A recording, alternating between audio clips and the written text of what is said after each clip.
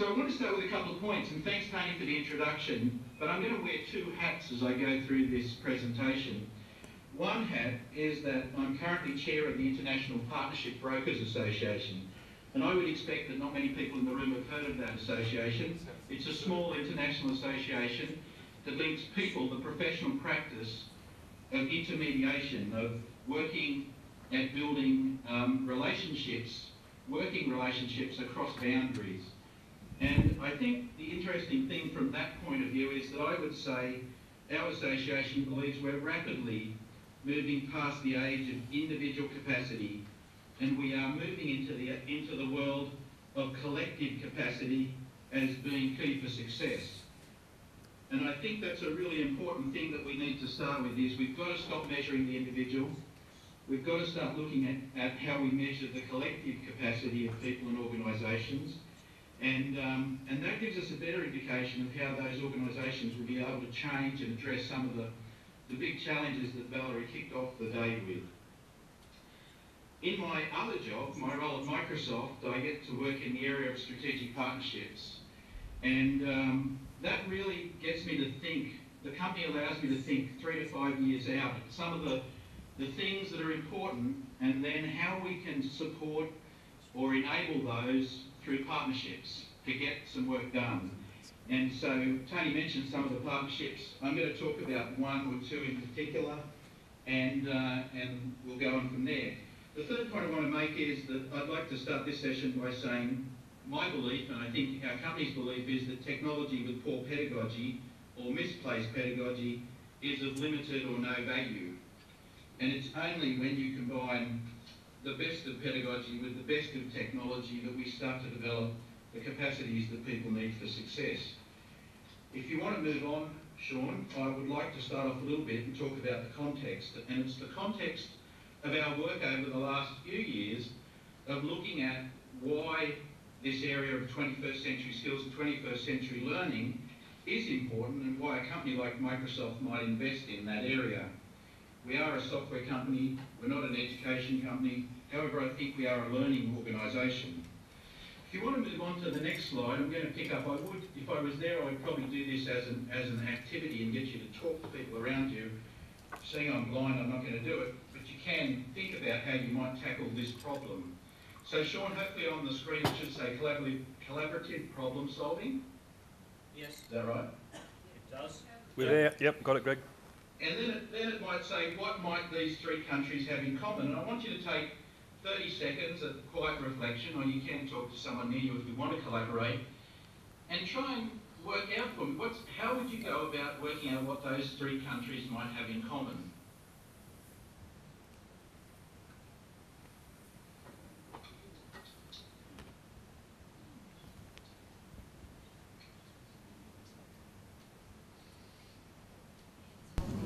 Okay, seeing I'm blind, I'm going to, going to move on fairly quickly. Anyone like to share with me what they think those three countries might have in common, or more importantly, anyone like to share about the collaborative process they, they went through? And it's interesting when I do this, usually people focus on the answer, not the process. What answers might we have? Anyone? Google them and compare the keywords. Yeah, that's one way to do it. Some people say things like they all have flags or they they all have the letter S in their in their country names. And and really it doesn't matter, I guess, because the question I was asking was what was the process of collaborative problem solving? And that's one that I would say we're growing more familiar with. We, I've heard probably a hundred times today the importance of collaboration. And I appreciate and work closely with Patrick on the work we're doing. But an understanding of what great collaboration is, I think, is tied to maybe this question about what new pedagogies are important and the new paradigms we're talking about. Interestingly, all of those countries have youth unemployment at greater than 25%. And in a world where we're facing some interesting challenges, if you'd like to click on, we could of course say that the reason they have high youth unemployment is because of the economic crisis. But back in 2009, when we started looking at ATC 21S and the, the innovative teaching and learning research, um, I'll talk about in a minute, it wasn't that that drove our thinking, it was more that there was a great talent mismatch. That companies like Microsoft couldn't find people with the skills and competencies we needed to be successful. And if anything, that problem's got worse. We're a company of about 40,000 people in the US, and we currently have 6,000 open positions that we can't fill. And of those 6,000, 3,600 are engineers and researchers, the most senior and high-paid people in the, in the company. And the rate of increase in that number is 36% year over year, meaning that we just can't find people to employ to do the type of innovative problem solving, collaboration, teamwork, analytics, and research based activities that we need. And so you might say that's just Microsoft, but I can go around the world to any country nearly and find high youth unemployment along with um, this talent mismatch, meaning that we have an interesting challenge with youth who are going through school and many going through university or college and then finding very extremely difficult for them to take a job. If you want to click onto the next slide, this is the, the graph, as I hopefully everyone in the room has seen it, and I just want to make one point about this graph that I stole from OECD, and that is that it talks about the shift in skills up, and, up until 2002. The thing that I think a lot of people may not notice is that if you look at the trajectory of those, those lines on the graph and you extrapolate out 10 years, you can imagine the gap that's happening between those areas. And we're seeing that, if you want to click on for me, Sean, as highlighted in the McKinsey, recent McKinsey report about the changes in the labour market, I think one of the big challenges that we face as a company and, and that I think the world faces is the shift in the labour market. In fact, in the US, they recently reported that the economy here has reached peak jobs, meaning that because of robots and because of productivity gains, the size of the job pool will never grow again, that it will only shrink, meaning that there will be people that won't be able to find a job, perhaps in their lifetime. And that's a real challenge. I would like to move on now, and, and if you click on Sean, onto the Innovative Teaching and Learning Research, I want to talk about this research project that we kicked off about three years ago because we were trying to answer that question. What are the teaching practices? What are the conditions? What are the factors that would influence young people leaving school with what people were calling 21st century skills? Now, I'm not a big, big uh, favourite of that term 21st century skills. I'd rather call it deep learning competencies. But I will try and use the term because it's, uh, well, I might not, I might shift to um, to deep learning competencies instead because I think that's probably more relevant. I'm going to give you a, a, thin slice of the research because it's quite deep and if people want to, I can direct you to the full research study and the reports that come out of it. If you want to click on Sean. We're on the key questions slide. The ITL research was built to look at three key questions. One was, what are the education system factors that might influence the ability of young people to develop these skills? What are the school leadership and culture factors and what are the innovative teaching practices? And really we wanted to look at these domains because we felt that there was a, a key relationship between them. Looking at just one was a limited view. If you skip on again, Sean, we looked at this term innovative teaching practices and working with the research partner who kicked this off, and this was a partnership, I might add, that involved researchers from around the globe and many education systems, and I'll talk a little bit about some of those. What we found was that um, from the research and the, and the, literature was that these three areas were, had the strongest relationship with learning outcomes. Student-centred pedagogies, you can see there what we're talking about, extending learning and ICT integration.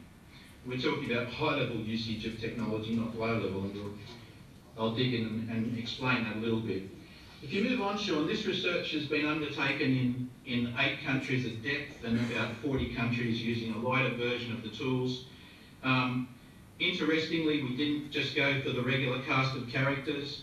You'll see there's some interesting countries in here like Senegal, like uh, Brunei, etc. So we had small and large, developed and developing, uh, north, south, east and west. And if we click on to the next slide, really what we were looking at was how does teaching shape the development of these 21st century skills, or more, more likely the key problem that we're discussing today, how does teaching shape 21st century learning?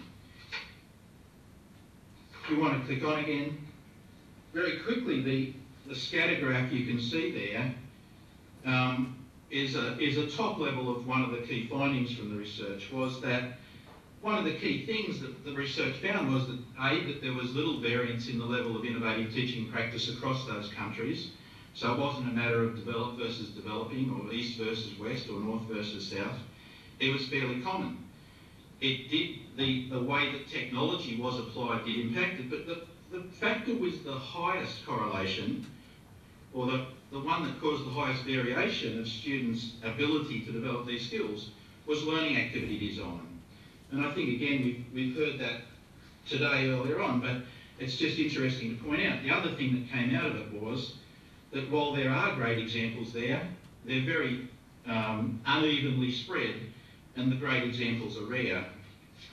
We move on again, Sean, so we asked the question, why not? Why were those things barriers, or what were the barriers to those things from a classroom perspective?